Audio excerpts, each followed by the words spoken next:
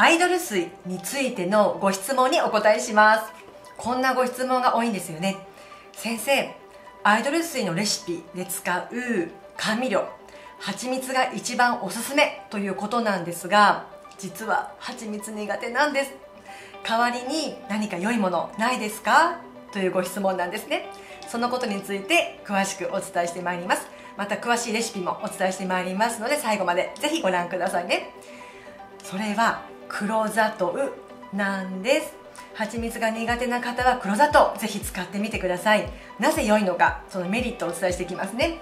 そもそももともとある基本のレシピは白砂糖なんですけれどもそういった白砂糖に比べて血糖値が緩やかに上昇してくれるからなんです。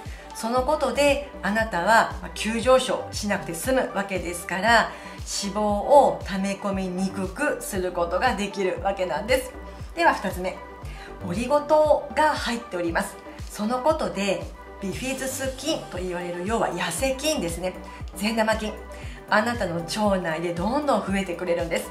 そのことで自然と痩せ体質に生まれ変わることができるんですよ。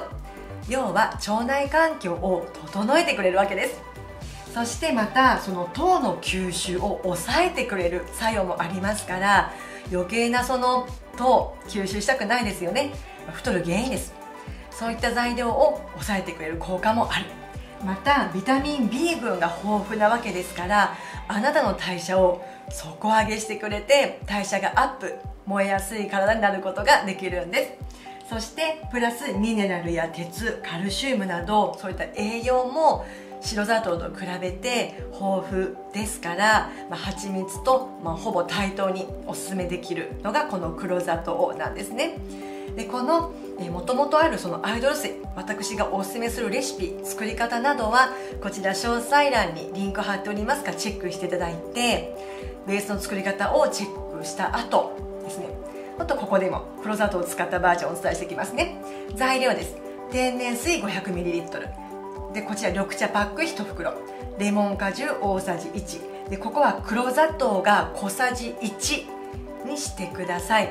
あのたとえ痩せる効果がある黒砂糖なんですけれどもやはり取りすぎてしまっては NG ですよね。カロリーオーバーになってしまいますからぜひお気をつけてください。でまたこの黒砂糖を選ぶポイントなんですけれどもあの100%天然のものを選んでくださいね。